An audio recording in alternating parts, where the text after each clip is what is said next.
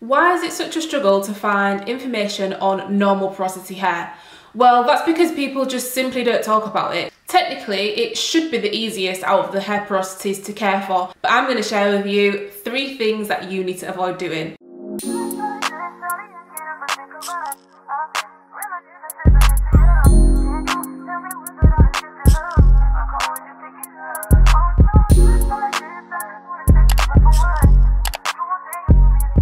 What's up curlies? Welcome back to my channel. It's your girl Keke and if you are new here, I do all things curly hair tips, product reviews and styling. In today's video, I'm going to be sharing with you three things that you need to avoid doing for your normal porosity hair. So let's get into the video. Being a normal porosity hair curly myself, I can definitely speak from experience on this topic. And the first thing that you need to avoid doing with your medium porosity hair is you need to stop neglecting protein treatments. Protein treatments are so underrated and they are really really useful if you have normal porosity hair. Your hair can withstand protein treatments because they don't dislike it, they really like it and the balance of protein and moisture worked really well for this porosity type. So if you have normal porosity hair, make sure you're incorporating protein treatments or a bond reconstructing treatment or a strengthening treatment somewhere in your weekly or monthly hair care routine.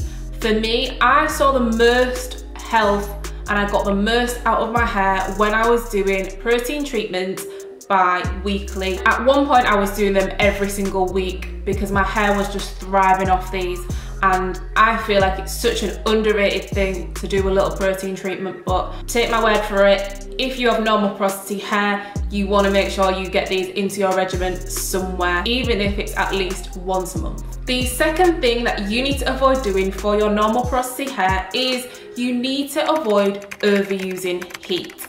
And with our hair, we tend to think it can withstand quite a lot because it isn't too dry, it isn't too porous. Technically, it is the easiest of the hair types to care for.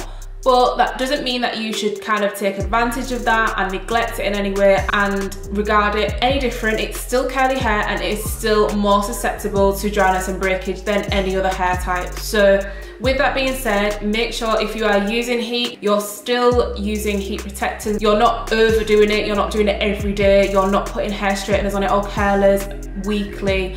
You still need to obviously treat as if it is quite delicate and it is susceptible to breakage. So really take care when you are using heat products. And with this, I don't mean your diffusers, I mean your direct heat, like your blow dryers and your straighteners and things like that just don't overdo it because I have made that mistake in the past and I definitely did live to regret after that.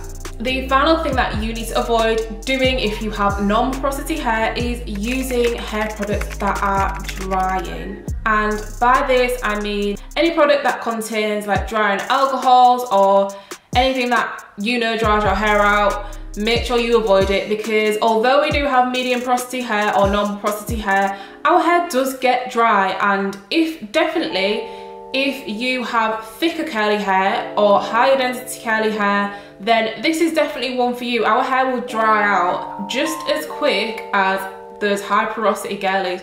So make sure that if you are using your products, they're really nice, they're moisturizing, you're keeping a close eye on how often you need to moisturize because we can get away with not moisturizing for a couple of days and then our hair may dry out and I've been victim to this. I've kind of like got a little bit lazy with my wash and go, left it three or four days and by the fourth day, the underneath of my hair is knotting up and matting and tangling and I'm getting breakage and single strand knots. So don't take it for granted, although we do have the easiest hair type to look after, it still does need maintenance and using products that are nice and moisturising and keeping an eye on how hydrated your hair is will be the best thing for your hair. Hope you enjoyed this video. Drop down any normal porosity tips in the comments and I will see you in the next one.